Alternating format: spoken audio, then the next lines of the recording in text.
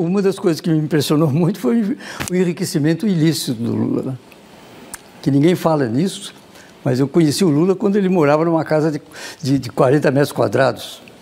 Né? Hoje, o Lula é, é uma das grandes fortunas do país, ele e os seus filhos. Quem é que, que está atrás disso? Quem que está querendo que isso venha à tona? Né? Porque eu, é. eu acho que a, a, a questão do, do, do da, da, atuação das pessoas no mundo político, no mundo em geral, é, é preciso se ver o que, que essas pessoas fizeram para ter o que tem. O que, que o Lula fez para ser o, o, o, o, miliardário que ele é hoje?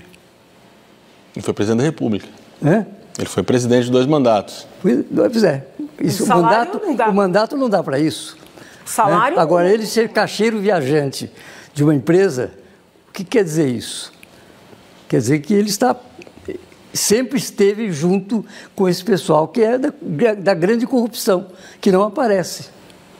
Porque eu acho que eh, eu, eu não, tenho, não tenho maneira outra de falar a não ser de que o Lula se corrompeu e corrompe a sociedade brasileira hoje através da sua, sua atuação como, vice, como presidente da República.